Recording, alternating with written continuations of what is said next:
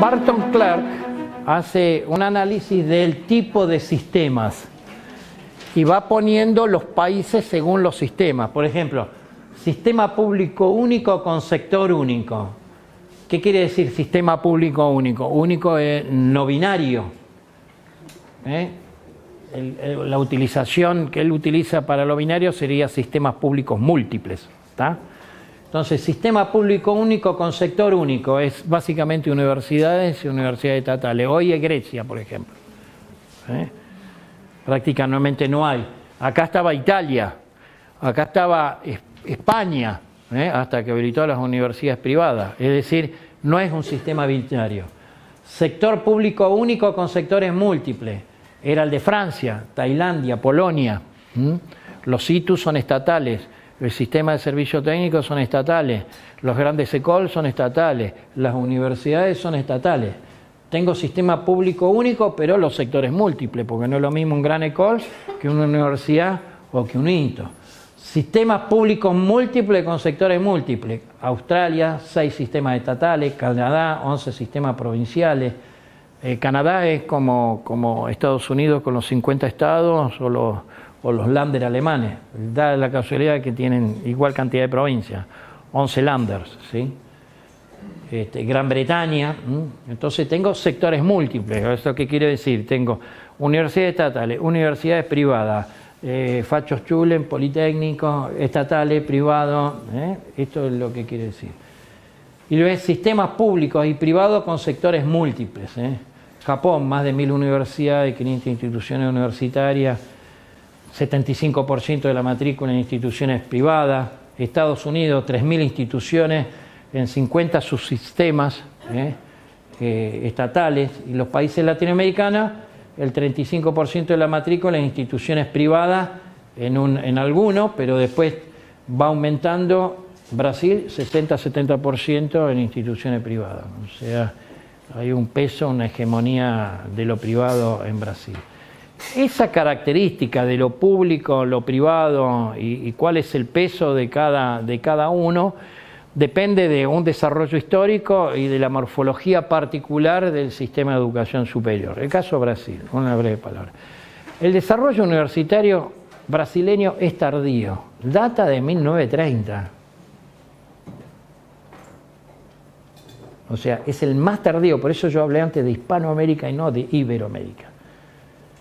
Y las anécdotas dicen que venía el rey de Bélgica y eh, querían darle un doctorado honoris causa porque de eso se estilaba, ¿no? Y para dar un doctorado honoris causa hay que tener una universidad.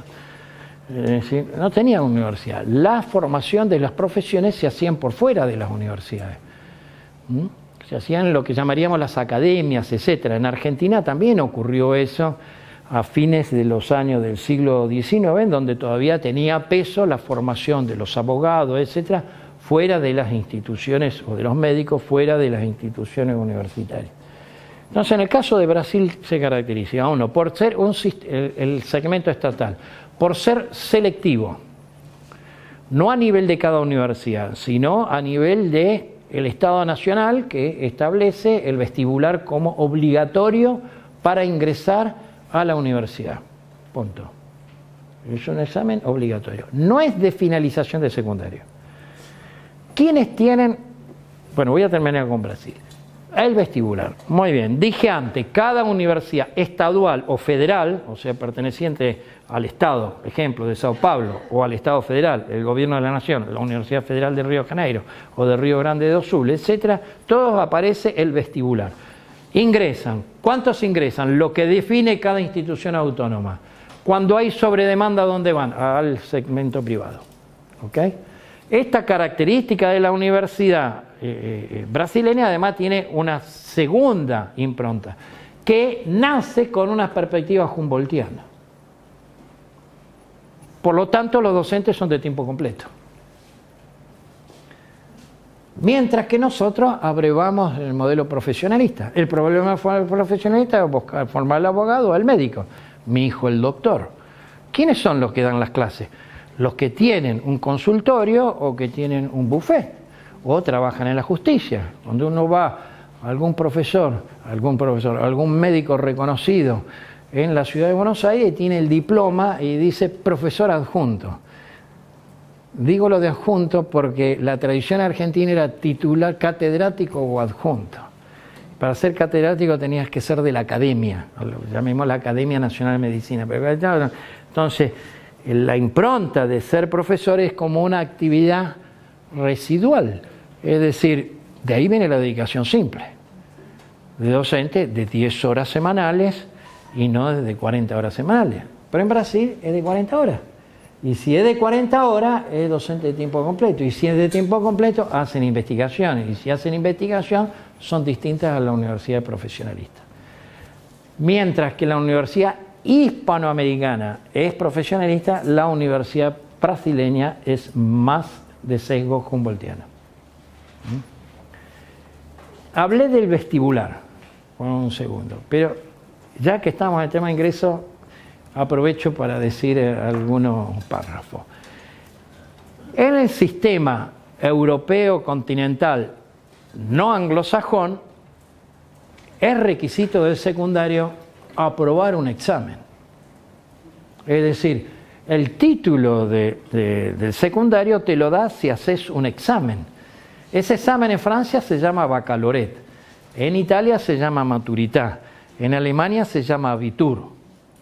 Entonces, está prohibido el examen de ingreso a la universidad en Italia, pero solamente entran los que aprobaron el maturità. ¿Cuál es la tasa de aprobación de estos exámenes de finalización del secundario para que te entreguen el cartón, el diploma de egresor del secundario? un tercio de los que terminan tienen el examen. Con lo cual hay un proceso de lentificación del egreso. Es decir, en diciembre, llamémoslo así, no es diciembre porque tienen corrido por el hemisferio norte, en julio, en agosto, rinde y aprueba una fracción, otra no prueba y vuelven a repetir en diciembre, no aprueban y vuelven a repetir en marzo y así sucesivamente, pero no dan el título del secundario sin ese examen.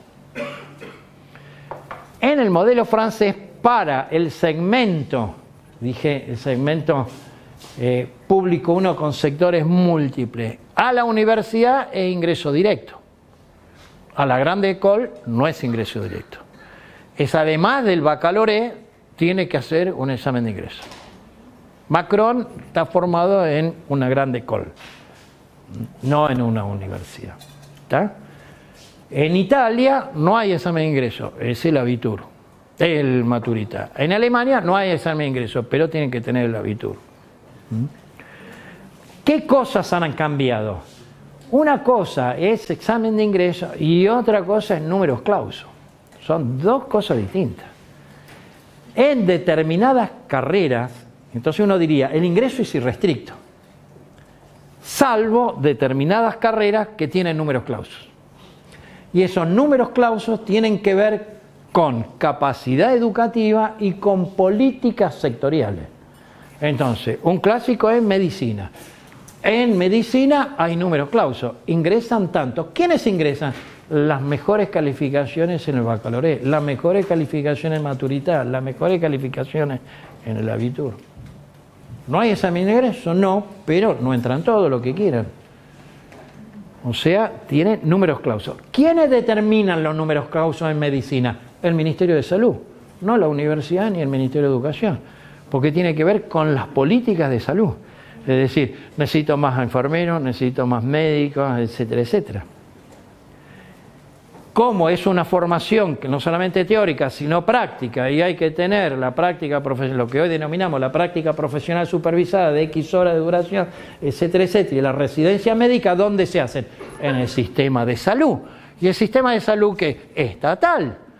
Entonces en Gran Bretaña es estatal. ¿Cuántas vacantes tiene el sistema de salud para hacer la residencia médica? Tantas vacantes, tantas vacantes, tantos egresados, tantos egresados, cuál es la planificación en términos de cuánto ingresa, cuál es la tasa de deserción, cuál es la tasa de ingreso y por lo tanto está regulado. Nosotros acá tenemos un doble problema. Podemos definir números clausos, digamos, en un supuesto de una determinada capacidad áulica, pero tenemos un segundo problema que es tal la tasa de fracaso en el primer año que el porcentaje de recursante llega a ser el 30% en el año 2.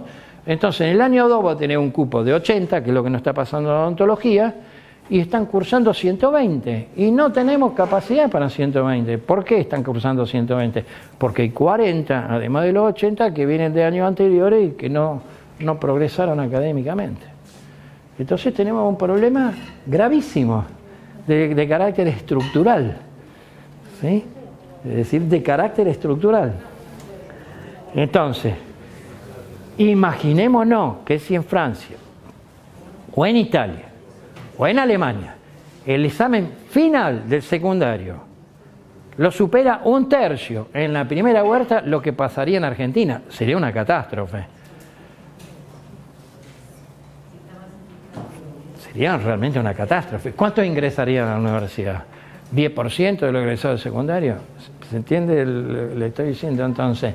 Uno tiene examen a la entrada tipo vestibular general. Chile, Chile muy parecido. Tiene la prueba de aptitud académica y también por notas seleccionan, pero lo que pasa es que ellos lo vinculan también al sistema de financiamiento. Ya lo vamos a ver eso. Nosotros es, completamente distinto al brasileño. En Chile sí están financiadas las universidades privadas. En Brasil la mecánica fue vía en el gobierno de Lula. En, Argentina está prohibido el financiamiento de la universidad privada, incluso porque el hecho de que hubiera estado en el artículo 28 del decreto ley, el famoso artículo 28 del decreto ley de Aramburo, que fue reglamentado recién en, en el 58 por Frondice, lo que se conoce como ley Domingo Arena, que reglamentó la creación de universidades privadas, prohibió el financiamiento del Estado. Los que ya tenemos muchas canas, recordamos en el año 58 el conflicto de laica o libre en las calles. El conflicto de laica o libre fue no a la reglamentación de la universidad privada, la transacción eh, política fue sí, pero sin apoyo económico del Estado. Entonces, de ahí es que está prohibido el financiamiento de la universidad privada en Argentina, en forma directa. El Estado tiene vedado financiarla, por toda esa historia que viene de la generación del 80, pero viene también del periodo desarrollista con Frondizi. ¿Eh? Es decir, que la, reglamentación, el conflicto alcanzó tal envergadura de enfrentamiento que este, eh, se vedó la posibilidad de financiamiento. Cuando voy a Chile, vos tenés la prueba de aptitud académica. Ahora se llama de otra forma porque la prueba de aptitud académica no era solamente cognitiva, sino de aptitudes. Ahora están virando más lo cognitivo. Y entonces, en función de las notas, están las plazas. Las plazas las establecen, igual que Brasil, las universidades estatales, pero también las privadas. La Universidad Católica de Chile, la Universidad Católica para Países tiene cupo y es muy demandada porque son muy buenas son muy buenas. ¿Cómo están financiadas? Y están financiados porque los alumnos eligen dónde ir, eligen a la de mayor nivel y el Estado les cubre, les da un financiamiento, digamos, por demanda. ¿eh? No, no, no, este, eh, no es el financiamiento al alumno, es el financiamiento a la institución. No es un voucher tipo Estados Unidos, el financiamiento a la institución. Ya que estoy en las cuestiones generales, les quiero comentar cómo funciona el sistema universitario americano para estadounidense para, para tener una idea de este, esta ida por distintos países. No solamente el sistema estadounidense tiene, está muy diferenciado en instituciones, sino que es un sistema que se llama de coordinación de mercado. ¿Por qué? Porque hay un mercado hay un mercado de estudiantes, de instituciones y de profesores. ¿Cómo opera? Opera de la siguiente forma. Los estudiantes eligen dónde ir a estudiar, un community college, un college, un college o una universidad. Supongamos que sea una universidad estatal, de un estado, estado de California. Muy bien. De prestigio, Berkeley, de prestigio. Quería Stanford, va a Stanford. Privada. Muy bien. Las universidades son autónomas, los títulos no los habilita la universidad. ¿Sí? Ahora bien, están aranceladas, las estatales están aranceladas y las privadas están aranceladas. Las privadas tienen aranceles superiores a las estatales. Bien, ¿qué hace el, Estado federal? Tiene un sistema de becas y créditos.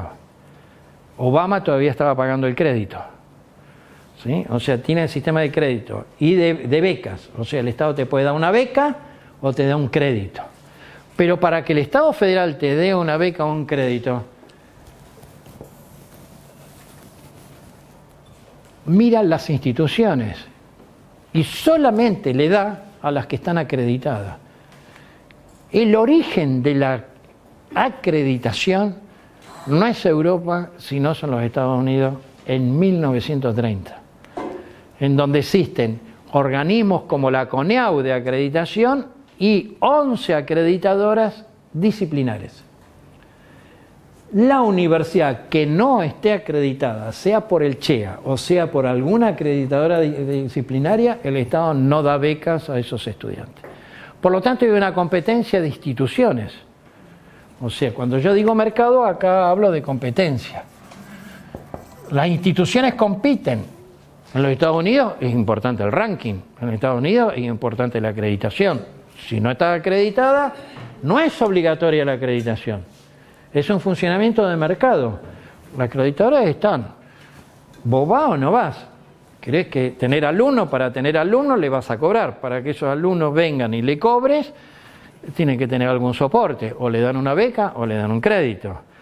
Entonces, compulsivamente vas a acreditar porque si no, no tenés estudiantes. ¿Cómo operan los profesores? Hay un mercado de profesores. ¿Por qué? Porque los salarios dependen de cada institución, sea estatal o sea privada. No es el sistema argentino actual hoy, por más que la legislación lo permite.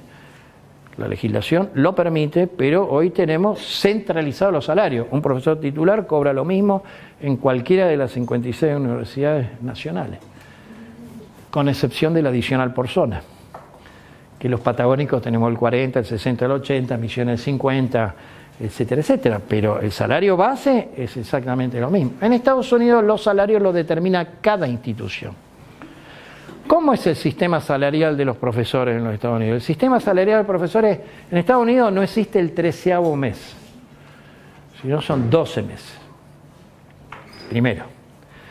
Segundo, las universidades compiten para traerse buenos profesores y por lo tanto ofrecen salario a unos buenos de un lado para que se venga a vivir, que está en Boston, venite a vivir a California que nosotros te ofrecemos tanto. ¿Por qué buscan a esos profesores que cobran más? Porque esos profesores tienen capacidad de atraer fondos. ¿De quién atraen fondos? De los organismos que financian la actividad de investigación como la National Science Foundation, la NCF, el equivalente a, al CONICET, digamos, a los orígenes del CONICET, o, al, CNPq brasileño o al CONACI de México. Todos estos organismos en América Latina nacieron a partir de la NCF. La, NCF, la National Science Foundation, fue creada a principios de los años 50 en los Estados Unidos a partir de un informe que se llama el informe Bush, no el Bush que fue presidente, sino Vannevar Bush, que era un ingeniero formado en Harvard y que el presidente Roosevelt le encomendó, esto es típico de Estados Unidos, que tienen en sus tiempos como libro blanco, libro verde o un grupo de asesores, etcétera, del presidente de la nación, no tienen un cargo ministerial, y le pide a Bané Barbu que haga una propuesta de política científica y tecnológica posguerra después de el proyecto Manhattan, la bomba de Hiroshima, etcétera, etcétera, en donde los Estados Unidos ahí identificó que dependían fuertemente del desarrollo de la ciencia básica europea. Habían sido muy buenos en los tecnológicos, pero no tan buenos en, no eran tan buenos en ciencia básica. Entonces, el presidente Truman, el presidente Rubel plantea cómo combatimos a las enfermedades, el tema de la penicilina, cuál es la acción de investigación de posguerra, etcétera, etcétera. Y el informe de Van Bush, informe Bush, que se llama La frontera sin fin, promueve crear un organismo que financie la investigación científica. ¿Dónde? En las universidades.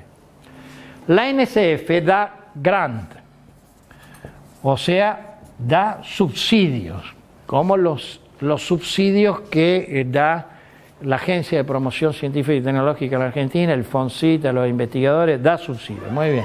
Esos subsidios financian tres cosas. Financian el proyecto, el proyecto de investigación, más un grant a los investigadores, que es plata al bolsillo, que se la llevan, viene a ser como si fuera el programa de incentivo Imagínense que ese incentivo te lo dieran por, el proyecto de investigación, te dan plata, más un overhead. El overhead va a la institución. El overhead puede ser del orden del 30 al 40%. Si financia proyectos, acá se financia, entre otras cosas, equipamiento. Entonces, ¿En qué consiste tener buenos profesores? Buenos profesores que se presenten a la National Science Foundation y ganen grant. Si ganan grant, yo equipo los laboratorios a través del proyecto, le puedo pagar, se lleva un grant, pero yo aparte le, estoy pagando más y además como institución me llevo el 30 o 40% de los fondos del, del proyecto.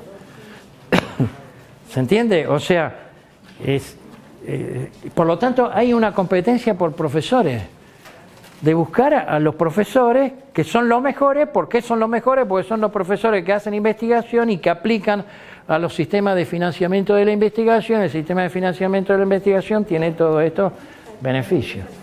Este es el esquema. Entonces hay una competencia, hay una competencia. Por eso está, comillas, desregulado el sistema de profesores. ¿Cómo opera y fuera de la competencia de los profesores? Entonces, compiten las instituciones por, acá más que de estudiantes, este, eh, compiten las instituciones para atraer estudiantes, compiten las instituciones para atraer profesores, ¿sí? Y para eso tienen sistemas salariales eh, totalmente diferenciados. Eh, eso más o menos el sistema americano. En el sistema americano cada universidad define los sistemas de acceso. Eh, no hay una norma nacional, eh, lo que hay es un organismo eh, que existe por el cual toma exámenes. Entonces, como que presta el servicio de, los exámenes, pero la universidad puede hacer sus propios exámenes de ingreso, puede no hacerlo, es distinto para entrar al college. Hay universidades de elite, Princeton, Yale, Harvard, son de elite, son de investigación y son de elite. Entonces ahí las barreras a la entrada son mucho más altas que en otra universidad. Pero también hay universidades que no compiten tanto, que se manejan, se asemejan más a los colleges. O sea, olvidemos, no, no, todas las cosas que vemos en las películas americanas, de que alguien que es profesor o profesor del college no es que ganan fortuna. O sea, este, eh, estamos hablando de una cosa la universidad elite, la universidad de investigación y otra cosa la universidad eh, profesional. Em, pero no hay ingreso directo. Hay ingreso directo a los community college. Hay menos restricciones a los a, los community, hay menos restricciones a los college que forman el bachelor. Em, bueno, esto en términos eh, generales. ¿Cómo es el sistema? Llevo dos horas. Hacemos un corte y yo me ordeno. ¿Está bien? ¿Está bien? De la habilitación para el ejercicio profesional o no.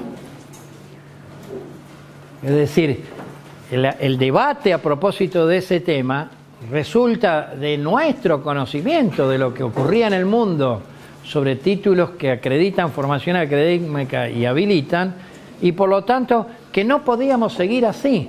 ¿Por qué no podíamos seguir así? Lo vamos a ver más adelante. porque el proceso se había, del sistema universitario se había masificado y había nuevos actores.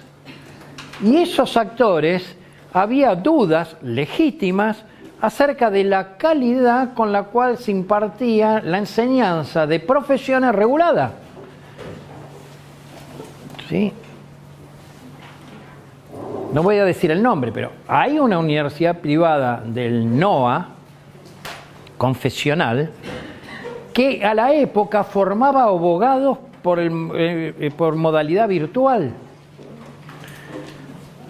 Y entonces era esos abogados tenían la formación suficiente para ejercer esa profesión y defender en ese caso los derechos y los bienes de los habitantes. ¿Se entiende lo que estoy diciendo? Entonces, por eso también aparece la acreditación obligatoria de los posgrados. Hay que analizar la cosa en circunstancias históricas. Si ustedes me preguntan a mí, ¿hoy es necesario la acreditación obligatoria de los posgrados? Yo diría, hoy no. Pero en aquel entonces sí porque los posgrados se habían convertido en un mercado para tener alumnos que remuneraban, digamos, estaban arancelados y no necesariamente eran de buena calidad, aun cuando los títulos de posgrado no habilitan para el ejercicio profesional, salvo las especialidades médicas y algunas como el síndico, este, pero digamos, no habilitan. La, especialidad de obstetricia, ginecología, etcétera, etcétera, son títulos habilitantes, digamos, la, grande pediatría, etcétera, etcétera, es una especialidad, es un posgrado. ¿Mm? Pero los posgrados no son habilitantes para el ejercicio profesional. Pero era un, mercado y entonces había que hacer una regulación de ese mercado. Por eso aparece la acreditación de posgrado. Así que quería decir esto para anticipar de que es importante saber qué es lo que pasa en el mundo, porque si no, uno discute sobre política pública desconociendo qué es lo que ocurre en el mundo. Porque si no, el título habilitante nos llevaba al modelo de centralización francesa. Ah, es así. Bueno, la universidad tiene acotada la autonomía. El ministerio define el plan de estudio, cada una de las asignaturas, el programa analítico, etcétera, etcétera, y va a ver también qué pasa con los planteles docentes. ¿Mm? Hay un caso que, lo voy a, también lo anticipo, que es que la regulación del artículo 28 sobre, del, año 58 sobre las universidades privadas no solamente contempló el tema del examen de ingreso, el, del examen de egreso, que era un, eh, eh, no, no, solamente contempló el no financiamiento, sino que por el tema de la habilitación profesional se resolvió. Acá me, Cardela, abogado, me va a entender. ¿Cómo se resolvió? Durante los primeros 10 años, o sea, las primeras 10 cohortes de esas universidades privadas, los egresados estaban sujetos a un examen de Estado. El examen de Estado era un tribunal, el tribunal que era dos jurados del Ministerio de Educación y un jurado de la universidad en donde había estudiado y recién ahí le daban la habilitación profesional. O sea, tenían que transcurrir 10 cohortes. O sea, la suposición es 10 cohortes con los exámenes, se supone que hay un proceso evolutivo de mejoramiento de la calidad hasta lograr un egresado, digamos, satisfactorio en términos de calidad satisfactoria, en términos del ejercicio profesional. Por eso cuando se discute en el 95 la, la ley de educación superior, la nueva ley de educación superior, la vigente, que establece la acreditación obligatoria y se pregunta a la universidad, ¿separamos o no separamos el título? ¿Cuál fue la reacción? Las privadas que venían de antes, que habían pasado los 10 años, dicen, no, otra vez sopa, no. Nosotros no queremos la separación, ya pasamos esa etapa del examen. No estoy diciendo que el examen tenga que ser con ese jurado, ¿eh? o sea, interprétese. Entiéndase, examen de Estado significa que la habilitación la da un ente externo.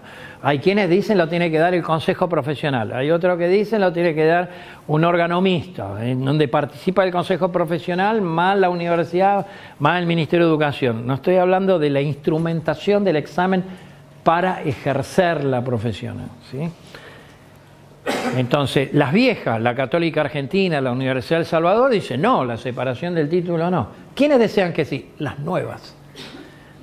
las nuevas, San Andrés, Ditela, que siguen más el modelo estadounidense. Dicen, no, nosotros queremos la separación del título. Entonces, las posiciones, hecha la consulta sobre las universidades, eh, sobre la habilitación profesional, fue que las privadas no confesionales nuevas se pronunciaron por la separación. ¿Quién más se pronunció por la separación? Algo les va a parecer eh, rarísimo. Andrés Delich, que fue rector de la Universidad Nacional de Córdoba y rector normalizador de, la UBA. Padre, falleció. No, el hijo no, padre. Este, ¿Qué más? Sectores del legislativo del radicalismo. Francisco, no Andrés, perdón. ¿Quién me corrigió? Francisco de Lis, sí, Francisco. Francisco de Lis. Bueno. Eh, ok. Volvamos. El sistema universitario mundial es occidental. Viene de Occidente y ha sido incorporado en todo el mundo. No hay un sistema universitario asiático. Hay un único modelo que viene de Occidente. Asia incorporó el modelo occidental. No tiene una cosa idiosincrática propia. Sí existe en el, área musulmana, en particular en Egipto, algunas universidades de naturaleza no occidental, ¿sí? más lo que llamaríamos las universidades más recientes, multiculturales, del caso de Bolivia y de algunos países de América Latina, que se denominan universidades, pero tienen una modalidad diferente. El resto del mundo funciona de la misma forma. Cambiarán la fuente de financiamiento, cambiará el ingreso, la acreditación, etcétera, etcétera, pero no existe modalidad, existen modalidades dentro de un mismo enfoque no es que hay un enfoque distinto. Y esto tiene que ver con los procesos de colonización. Entonces todos van adoptando los sistemas, digamos, Inglaterra exportó, por eso hay una internacionalización de los patrones académicos, una imposición externa colonial, una importación voluntaria y transnacionalización de la ciencia. Sea, hay un enfoque, digamos, de internacionalización. Bueno, está el que hoy se habla de la internacionalización del currículum. O sea, las discusiones de hoy es cómo se resuelve la movilidad estudiantil y de profesores si no está internacionalizado el currículum. O sea, este, resolver la cuestión más, dejar de ser menos idiosincráticos y más globales en ese sentido. Bueno, el, el, sistema académico centralizado francés, como lo que mencioné antes, ¿no es cierto? Nada más que nosotros somos un MIS porque tuvimos lo profesional, no lo humboldtiano, más lo español de la dedicación simple, o sea, la dedicación parcial, no entendiendo por dedicación parcial la semi-exclusiva. La dedicación parcial es que no es una dedicación ah, exclusiva eh, a la, actividad docente, sino que es una actividad profesional y que parcialmente se desarrollan eh, actividades eh, de docencia universitaria. Bueno, Ahora entremos a las universidades. ¿eh? A ver qué esto es este, el objeto de estudio. ¿Qué es la universidad? Primero es una universidad que es una institución medieval. Eh, es una institución conservadora, como la iglesia. O sea, son instituciones conservadoras, en donde los cambios son muy difíciles. ¿sí? Por eso, a continuación uno puede decir, es más sencillo generar un proyecto universitario original desde el principio que reformar algo que ya está en movimiento. ¿Mm? Bueno, ¿cuál es la cultura y las tradiciones? Hay una internacionalización y tradiciones nacionales. Entonces hay un sistema de creencias a nivel universitario. ¿Mm? Hay creencias sobre el acceso. ¿Eh? El acceso en los países desarrollados es selectivo, de una forma u otra, porque aun cuando no haya examen de ingreso, en España, Brasil, eh, Italia o Alemania, están los exámenes finales secundarios que cumplen la misma función, cosa que no ocurre en el resto. Hay creencias sobre la especialización, o sea, el tema de la educación general, los estudios generales, más la modalidad británica, o de la superespecialización. Entonces, ¿cuál debería ser? Bueno, tenemos que tener más una mirada de estudios generales, por ejemplo. Esto lleva a enfoques del tipo, eh, bueno, tengamos un tronco común en las carreras de ciencias sociales y en los dos primeros años, no digo humanidades, pero en ciencias sociales, en los dos primeros años el currículum es introducción a la sociología, fundamento de filosofía, introducción a las ciencias políticas o fundamento de ciencias políticas, pa, pa, pa, pa, y a partir del segundo año entonces aparece eh, como los tubos eh, que van entubando a, la superespecialización. Eh, a partir de la, de la universidad Humboldtiana, a partir de Berlín, aparece la profesión científica y la profesión científica tiende a la especialización. ¿Mm? Eh, esto se dice con algunas metáforas. Eh, ¿Qué le interesa a un biotecnólogo la historia medieval? Nada. Mientras que los estudios generales que tenés que tener una, mirada general, conocimiento de tipo general. ¿eh? Esto da lugar a una división del trabajo dentro de la universidad. Y esa división del trabajo, que es particular de cada organización, está organizada por especialidades. En la universidad la función principal es la transmisión de conocimiento. Esa es la función principal. Digo esto porque por más que sea con un enfoque humboldtiano, en la misión central de una universidad es la educación superior, es la transmisión de conocimiento.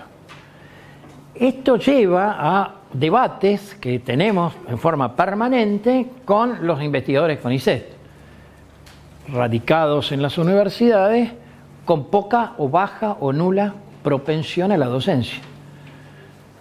Porque son investigadores de otro organismo implantados en una institución universitaria donde su desarrollo como investigador depende de los méritos que alcance en la actividad de investigación. Y los méritos que alcance en la actividad de investigación implican un trabajo científico. Y ese quehacer científico hay que dedicarle todo el tiempo. Y si no le dedico todo el tiempo y me dedico a la docencia, me atraso, comillas, en la carrera de investigador. Ya que estoy, pie de página, soy un muy fuerte crítico de la reforma del año 73 diez días antes que asumiera Héctor Cámpora, por el cual la carrera se impuso la carrera de investigador científico del CONICET como un escalafón dentro del CONICET. Hasta ese momento era como la National Science Foundation. O sea, daban un delta, un plus, un incentivo, un estipendio, un gran, busquen la denominación que quieran, a los que eran docentes universitarios. El CONICET nació como nación a la National Science Foundation para apoyar la investigación en la universidad. Pero vuelvo. Entonces, no es lo mismo un instituto de investigación del CONICET a un instituto o una unidad ejecutora compartida entre el CONICET y una universidad. Porque esa unidad ejecutora compartida está anclada en una institución que tiene como finalidad esencial la transmisión de conocimiento. Por lo tanto, debe ser obligatorio la actividad de docencia. Esa es la función principal. Ahora bien, eh, interrúmpanme ¿eh? cuando quieran, ¿sí?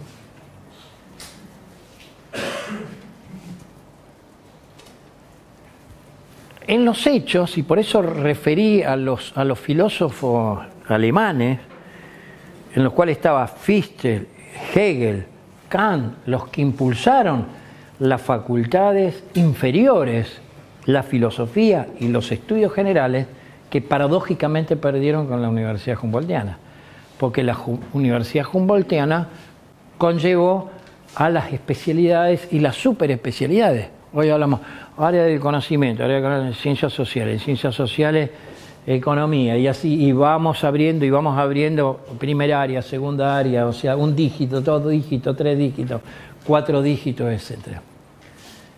Bueno, acá hay No dije un biotecnólogo. Un microbiólogo no necesita de un historiador medieval. Esto lleva a un problema de la definición de la frontera, de los linderos. Hasta dónde le corresponde a uno, hasta dónde le corresponde a otro. Es decir, van juntas, van separadas, etcétera, etcétera. ¿Eh? La apertura continua de nuevas especialidades. Después eh, hablaremos de otra cosa que es la formación de grado y posgrado, o sea, ¿qué quiere decir? O está vinculado.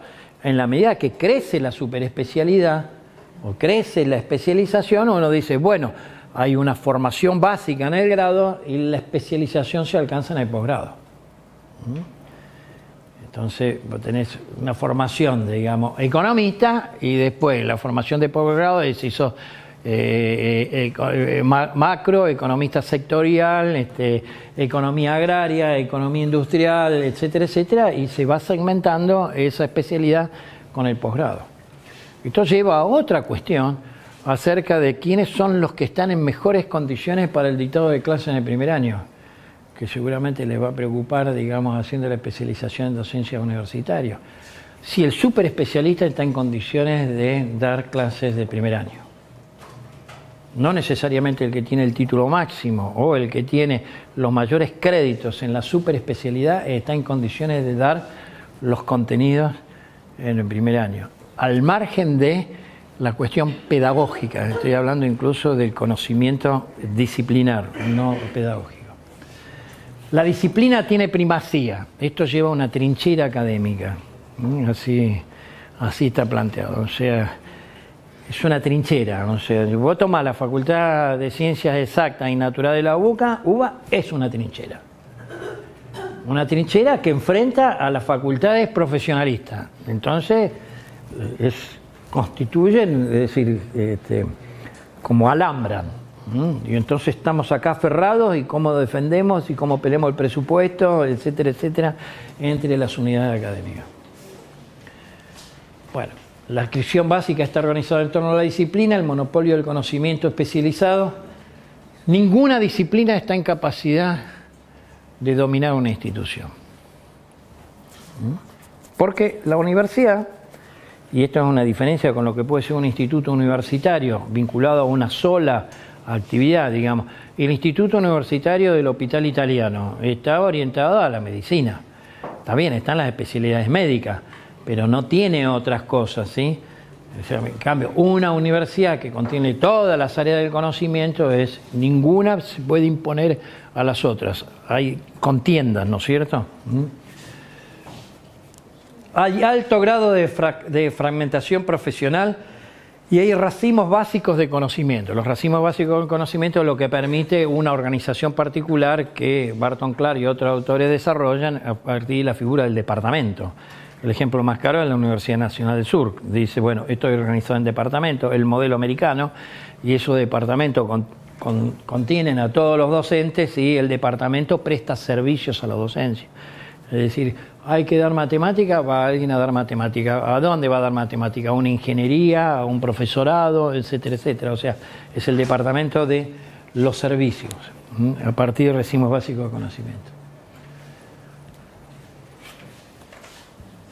lo disciplinario y lo profesional no se contienen en los límites nacionales, a diferencia de la educación básica y secundaria. La educación básica y secundaria tiene contenidos nacionales. ¿Mm? Esto son parte de las anomalías. Si viene un extranjero acá, a veces, si no tiene el título secundario, le quieren hacer que haga la equivalencia con el secundario, porque tiene que estudiar historia argentina y Belgrano y San Martín, y ¿se entiende? O sea, tiene contenido nacional. Pero si voy a una, a una formación disciplinar y profesional, los límites superan las fronteras del país.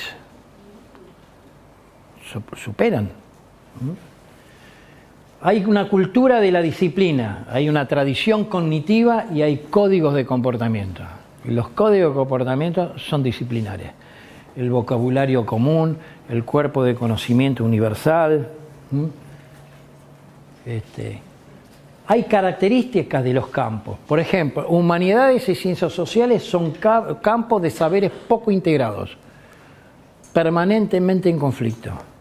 Mientras que el campo de las ciencias naturales y exactas es un campo cosificado o cristalizado o más rígido, saberes muy estructurados. Acá son saberes poco estructurados. Hay falta de acuerdo de contenido básico y método de enseñanza. Acá no tienes ese problema, lo tenés acá.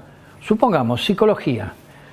Cuando entra en el proceso de acreditación psicología, había universidades que daban eh, nada más que psicoanálisis, o un enfoque freudiano, o iba San Luis, era lacaniano, hasta que aparece que psicología entra dentro del artículo 43 y se dice, no, para dar psicología hay que dar todos los enfoques teóricos, hay que dar los freudianos, hay que dar conductivismo, hay que dar todas las expresiones de la psicología. Serán los alumnos los que opten, digamos, a qué enfoque eh, teórico, psicológico este, asumir y en todo caso en el posgrado hará un posgrado en psicoanálisis.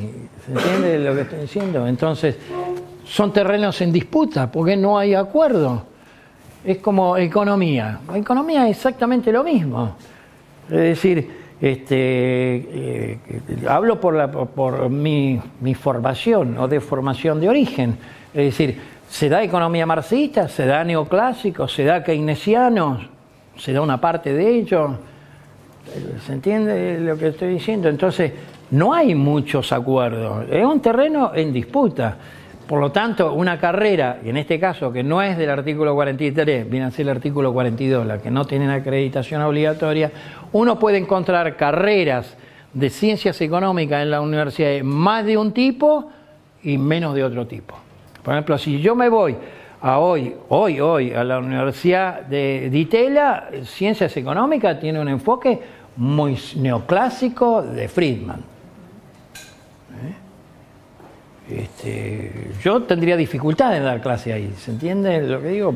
Eh, lo digo porque es los enfoques, o sea, hay poco estructurado, hay debate, hay conflicto, etcétera, ¿no es cierto? ¿Cómo es la organización? La organización de una institución universitaria radica en partes autónomas. Es todo fuertemente autónoma. Ni que hablar con la estructura inicial que fue de cátedra. ¿Eh? Este, entonces está la cátedra. Ayer daba clase Alberto Fernández en una cátedra de Derecho Penal. Es su cátedra. Hay otra cátedra de Derecho Penal. Esa cátedra tiene su ayudante, porque él dijo, yo voy, fui con mi ayudante que hace los trabajos prácticos, pero como estoy con el proceso electoral, no sé si podré estar de las 10 hasta las 1 de la tarde. Entonces por ahí me tengo que ir antes, pero esa es su cátedra, es la organización de la cátedra. La organización de los grupos, la cátedra, el departamento como unidad inferior. Puede ser la unidad superior también si no existen las facultades, pero el mecanismo de organización por facultades en general es que tiene departamentos. Tengo facultad de ciencias exactas y naturales, tengo el departamento de matemáticas, el departamento de, física, está organizada por departamentos al interior de la facultad. No hay, entonces, la interdisciplinancia indisciplinar. Los vínculos son centrífugos. Es como, esto la literatura lo llama como una falla geológica. No hay tecnologías longitudinalmente vinculadas o que las puedan unir. Eso es muy difícil, ¿no es cierto? Sino son intensivas en compartimientos separados. Por lo tanto, es, un sistema que se, le denomina de base pesada y con combinaciones endebles de múltiples profesiones. Sí. Perdón. Adelante. En el punto 3 eh, me habla de que no hay tecnologías longitudinalmente vinculadas, lo de las cátedras en el departamento. Sí. Que no hay cosas que permitan articular los eslabones. Si yo estoy en odonto, por decir, en una mega universidad, estoy en odonto, tengo kinesiología, tengo esto, tengo otro, no hay tecnología, entendiendo por tecnología que no, conocimiento que permita articular las partes. Es decir, si esto tiene en común, anatomía, ¿podemos articularlo de anatomía? No. Es muy difícil. Los ingenieros quieren ser ellos los que dan matemática, no quieren traerlo a la gente del departamento de exacta para que le dé matemática. ¿Sí? O sea que pese a que vos tenés matemática, tenés álgebra, tenés análisis en una ingeniería o en una licenciatura en química, en una ingeniería química una licenciatura en química, la carrera de ingeniería química está en la Facultad de Ingeniería, dentro del Departamento de Ingeniería, la carrera de licenciado en química está en la Facultad de Ciencia Exacta, va a tener la misma materia, química general o matemática o álgebra o análisis, en las dos, pero no hay, no hay eh, vinculaciones. No, no, porque esto tiene que estar adaptado al ingeniero y lo tengo que dar, es más o menos como las discusiones en nuestra universidad sobre ILEA Introducción a la lectura y escritura académica, hay que, comillas, un anglicismo, customizarlo, adaptarlo para dar los contenidos a los estudiantes que estudian tal cosa, etc. Si estudian economía, le vas a mostrar cómo se analiza un texto económico de un diario, si estudian antropología, otro texto, etcétera, etcétera. Pero es muy difícil, digamos. Por lo tanto, conlleva un proceso, de racimo, de superespecialización de comportamiento cada vez más separado, con poca posibilidad de articulación entre todas las partes. Esa está caracterizando, digamos, una universidad, digamos. Esto es una virtud, no, lo que estamos diciendo funciona así. ¿Nos gusta? No nos gusta. ¿Cómo podemos hacerlo para cambiar? Ese, es el problema. Bueno.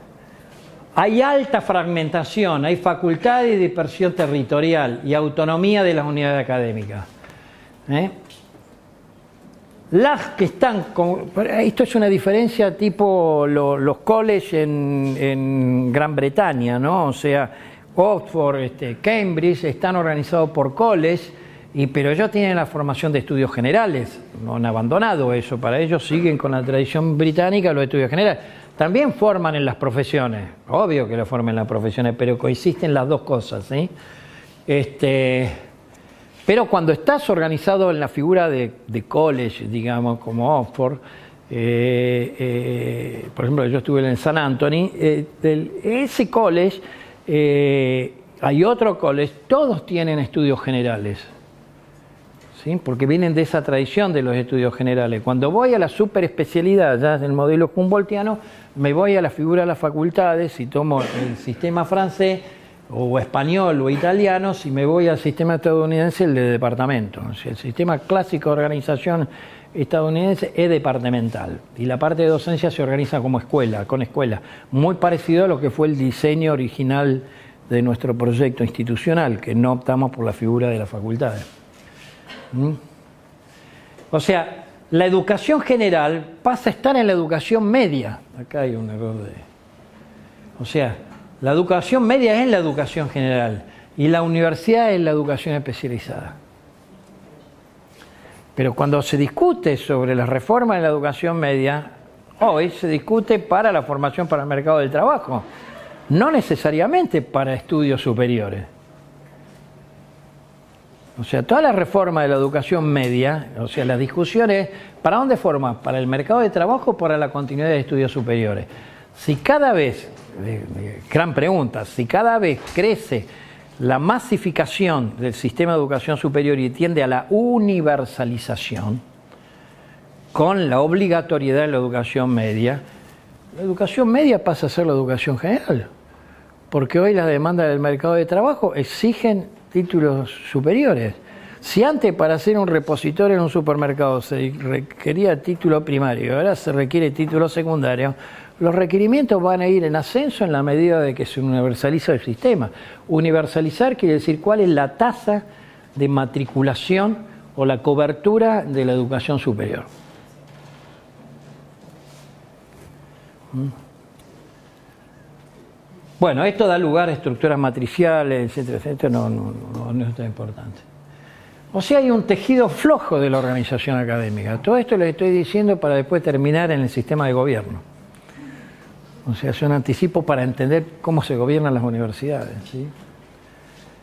Es plana la organización, jerárquica, es plana, piezas, especialidades débilmente acopladas y artificialmente estructuradas.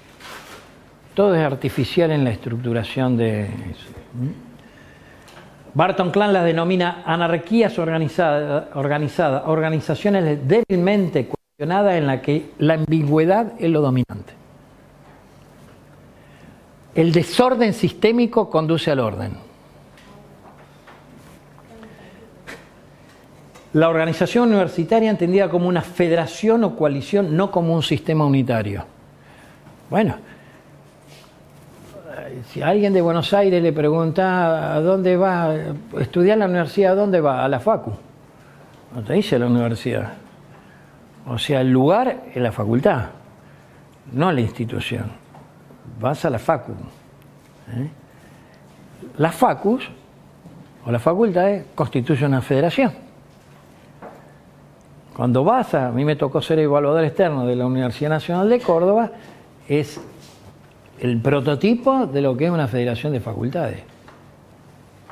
Mucho más federación de lo que es la UBA. Cada facultad determina el acceso, cada facultad determina la regularidad de los estudios, etcétera, etcétera. O sea, eso es, la, es una federación, es una federación de facultades. O sea, es una federación de unidades académicas. no sé si lo sabe la UBA es decir, las universidades ya masivas en ese sentido, la libertad de cátedra, bueno, fragmenta aún más la organización. ¿Qué es lo que contribuye a cambiar esto? Aunque parezca mentira. Viene del, del sistema de investigación, dije la Universidad Humboldtiana, pero viene del sistema de investigación. ¿Cuál es lo que viene? Que del sistema de investigación científica y tecnológica cada vez los problemas se resuelven de manera interdisciplinaria. Entonces, desde afuera de la actividad de transmisión de conocimiento, desde afuera de la ausencia, la impronta de la investigación es la que contribuye a resolver los débiles tejidos de vinculaciones entre las disciplinas. Y eso es el modo 2 de Gibbons. Es decir, Gibbons es el que desarrolló el enfoque de la investigación para la resolución de problemas. ¿Mm? Entonces, por el otro, el papel del Estado para fomentar la integración es el caso del financiamiento de la investigación científico-tecnológica. ¿Mm? Fuera de Gibbons, yo dije el modelo sui generis de Oxford y Cambridge con facultades multidisciplinarias y college.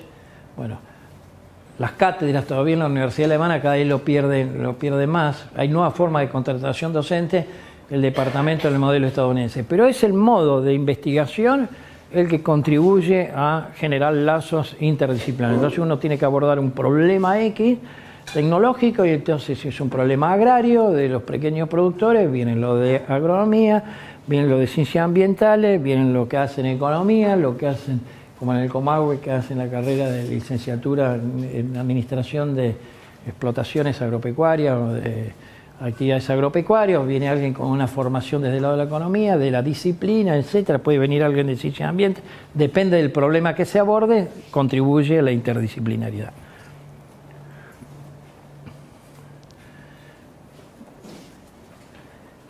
Los sistemas académicos resultan más de una evolución espontánea más que de la planificación. O sea, no se imaginen como una situación de planificación estalinista que entonces vamos a hacer esto, esto. Nuestra propia historia es un problema, no digo de evolución espontánea, pero de un proceso evolutivo. En ese proceso evolutivo, evolutivo es que aparece en esta sede kinesiología, nutrición, pero no estaba originalmente. Y lo que estaba originalmente, que era bioquímica y, y, farmacia en el Alto Valle quedó pospuesto, digamos. ¿no? Pero hay procesos evolutivos que son espontáneos. Las universidades profesionalistas tienen una menor integración simbólica que los colleges, claro, porque los colleges son de estudios generales.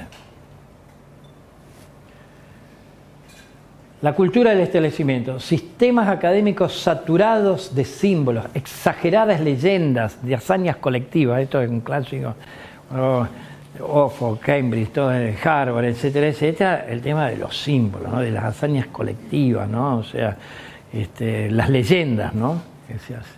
Mm. La cultura de la profesión, libertad de enseñanza, investigación, autonomía, mínimos controles, autogobierno colegiado.